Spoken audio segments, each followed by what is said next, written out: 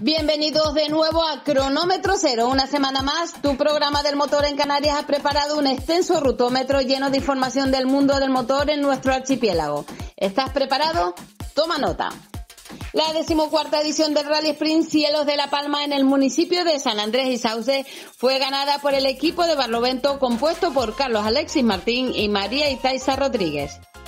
Una gran carrera con su Honda Integra Type que les llevó a lo más alto del podium.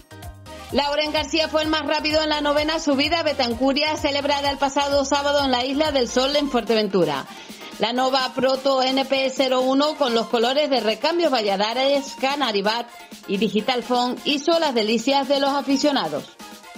El Porsche de Geray Leme registró el mejor tiempo en el apartado de turismo tras las tres mangas celebradas en Betancuria, prueba que puntuó para el Campeonato de Canarias de Montaña.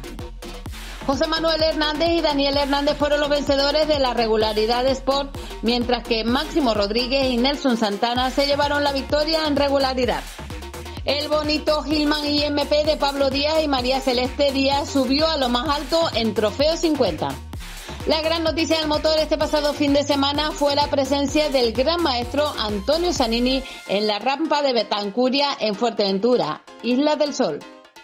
Motor Arisa presentó lo último de la marca, el nuevo Renault Megane E-Tech 100% eléctrico en el TEA de Santa Cruz de Tenerife. Calienta Motores, la octava edición del Rally Ciudad a la Laguna Trofeo Worten. Se presenta este jueves 21 de julio y se celebrará los días 29 y 30 de julio en Tenerife. Muy pronto tendremos una nueva edición del Pionero en cronómetro cero. Contaremos con toda una leyenda viva del automovilismo en nuestro país, el gran Antonio Zanini.